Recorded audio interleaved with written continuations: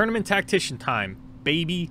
So we didn't get a balance patch, and things still changed a decent amount within the meta if you want to check out a little bit more in detail, I highly recommend checking out the tournament series that I write for Giant Slayer, which basically replaced War Room, right? Where I feel like um, I, the way that I'm doing Tournament Tactician is I'm, I'm kind of assuming that like you read the articles that I write. So follow me on Twitter at Caster Boulevard if you want to keep up with those, because I did replace my video form. Hey, here's what happened over the weekend with those articles with Giant Slayer. So if you're not reading those, you're missing out because we finally got a tournament win with eggs. You know, Shaddox did pick up the DreamHack Clash win with that, so the deck's a little bit more on the map than it was previously. I think a couple players are bringing it to the uh, America's Fight Night that is currently going on while I'm recording this video and getting it up.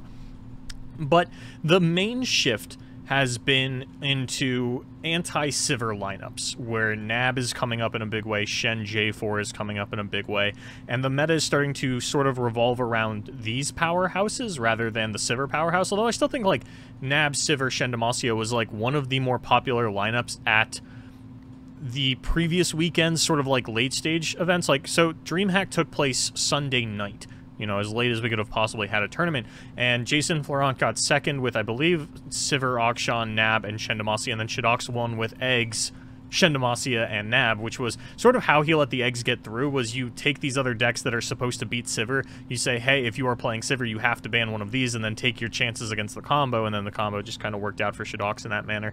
So, you know, eggs is really starting to pop up in like these invitational, these small type formats. We haven't seen it make a splash in an open tournament yet. The online league series is happening this weekend. I will have a link to that in the description below if you want to sign up for it. Me and J-Doza, of course, will be casting that like we always do. And the seasonal is getting pretty close. But that's really the major update is we started to go towards this like mid-range frostbite style of gameplay where Sejuani just beats a lot of the things that's in the meta and Nab is really the Sejuani deck that's going to turbo out the best. Now there are a couple of like Swain Sejuani decks that I've seen pop up, but Nab is definitely the more prominent one that you're going to be seeing a lot more over the course of the weekend and it looks a lot like it used to. Frostbite midrange, I think, is going to also come up in a big way as we continue to get just like Frostbite as the anti-meta tool against these mid-range decks like the Sivir, like the Shen Demacia, and Lee Sin even is sort of victimized by this, where it, it wants to come back into the meta, but there's all this Frostbite running around, and Nab is usually like aggressive enough that it can get through this, although you know, it, it, doesn't really have a lot of removal. The Eye of the Dragons can stalwart it a little bit. So, like, Lee in a better position than it was previously, I think. And Lee Sin was always in a pretty good spot. It didn't do well against Sivir, but it usually did pretty well against the other things. So, as Sivir starts to get pushed out a little bit more, hey, maybe Lee Sin makes a bit of a comeback. But Azir Aurelia doesn't lose to Nab like Sivir does, and we're kind of right back where we started. So, I, am not really expecting anything to happen to the play rate of Lee Sin. I think that Frostbite midrange kind of has overtaken Draven Ezreal as, like, the sort of anti-meta deck, quote-unquote, that is going to do well into the format that we currently have available to us. Discard aggro is still just kind of a house of a deck, beats just about everything that you want to be beating right now, so I think discard is going to continue to maintain its high presence not too much changed outside of that. Uh, Spooky Viego has been picking up a decent presence. Uh, it's a deck that I've been playing a lot on ladder. People are still kind of refining the list. Deathmark, is it a bait? Is it not a bait? It's always been a bait in the past, so what's so different now? And while things are drastically different, you know, it is possible that the Dark Water Scourge and Deathmark combo is going to get dropped from this deck for something else. I know players have started to put Thresh into it. Um, there's, there's a lot of adaptation still going on in the Spooky Viego, so like this is a deck that is very much on my radar. It's still being figured out. I think it'll be ready in time for the seasonal, but I think this is sort of the weekend where we're going to see a, decent amount of experimentation with it. But matchups are all over the place right now, and it's really coming to the forefront of the Runeterra competitive landscape where players are taking matchups on an individual basis. Where, let, us talk about like Nab versus Sivir, Akshan, where I think the broad strokes stats are that Nab is only like a, a 35 or 40% win rate into Sivir Akshan, but any individual player that I have talked to from the NAB side has like a 60 to 70% win rate against Sivir Akshan. So it's really coming down to like, you, you can't always pay attention to like what the ladder stats are telling you. You do kind of just want to jam the matchup yourself multiple times and say, hey, you know, this is where I'm beating it, maybe other players aren't doing this. And if you are having individual success in a matchup, regardless of what the broad stroke stats are saying, you should be playing that in tournaments over the next two weeks and either figuring out what you're different doing differently than these other players and saying, yeah, this is why I beat this matchup, or you're going to get your ass kicked. Like if you are consistently beating Sivir Akshan as a NAB player, and then you go into tournament and you just lose to every Sivir player you play against, you should be learning why that deck is beating you and kind of adapting to that or deciding like, hey, okay, now I see what the top players are doing differently on Sivir that these other ladder players weren't doing, and that's why I was beating them with NAB and not the tournament players. Things like that. You should definitely use these next two weeks as Eh, eh, like extensive testing periods. Get a little bit crazy. Get a little bit kooky. This is like the safest weekend to get crazy and really off meta and try out your wild boy shit because next weekend you really want to start locking in that lineup because the seasonal is only in two weeks, right? We are, it is upon us. So with the online league series this weekend, um, I don't know if there's going to be a big open tournament next weekend. So this is where you want to come in and get like that crazy testing. Uh, if I were playing this weekend, I would definitely have Spooky Viego in my lineup. I would definitely have Nab in my lineup. I might even play Lee Sin as my last deck. That's not a very centralized or well thought out lineup, but those are the three decks that kind of interest me the most right now. Which kind of is what it is. Uh, Anivia has popped up as the premier Shadow Isle Freljord deck. You know, I was talking about, I think it's going to be Feel the Rush. Turns out it's Anivia. I'm not sure why. Look, I'm, I'm a level with you. I am doing my best as an analyst, but there are so many decks that, like, knowing every individual deck's matchups or why it's popping up in the meta, if I took, you know, two hours to think about it, maybe I would get it, and I, I will for the seasonal report, but um, for now I'm just kind of scattered all over the place on, like, why Anivia is popping up instead of Feel the Rush. My main, like, the thing that sticks out to me the most is lack of deny.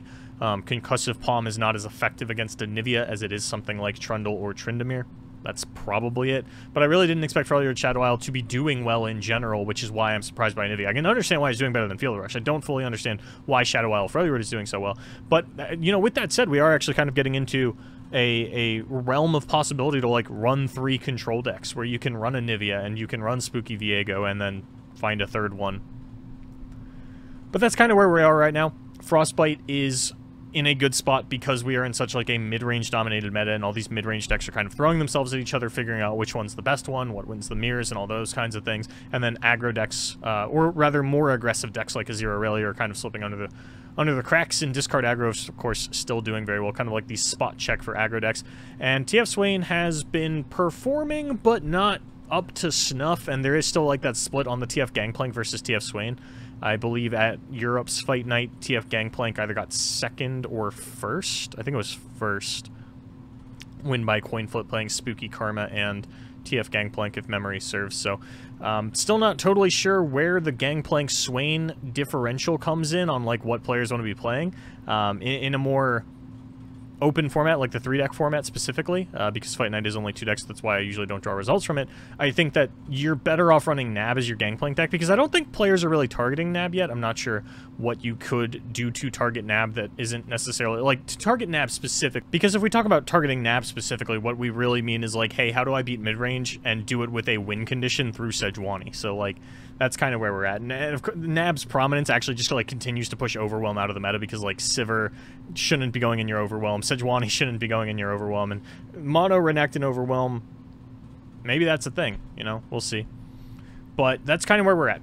Like, if you just want to get down to the nitty gritty of it, like Sivir's your focal point.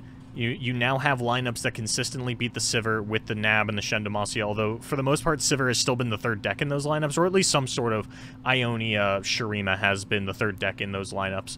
So really it's still just coming down to like are you banning Ionia Shurima or are you leaving it open? And it's not like previous tier 0 metas where like you, TF Fizz for example you couldn't leave TF Fizz open unless you were playing triple Smork in which case you're losing to every other you know lineup in the format.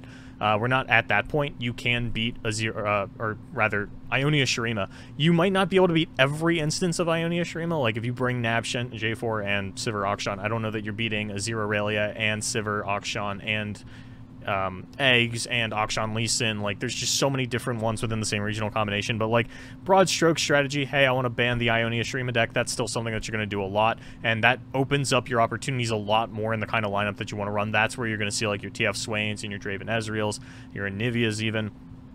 But if you do want to beat this Frostbite mid-range style decks, including Frostbite mid-range, including Nab, including Shen Demacia, are sort of where players are going towards to get that done. So, that's where we're at for this weekend. As I had mentioned, the Online League Series will be running another open tournament, unfortunately for the Americas only, as we got rid of Cross Shard, but we have all the shiny new lab stuff. Yay! Um, Me and JDoza will be casting that on his Twitch channel, JDoza GG or JDoza underscore GG. Follow me on Twitter at Caster Boulevard, and you will know when and where it's going live, so you don't have to worry about me forgetting my co-caster's Twitch handle at the end of all of these videos. But thank you so much for watching. My name is Boulevard, and as always, good luck in your tournaments.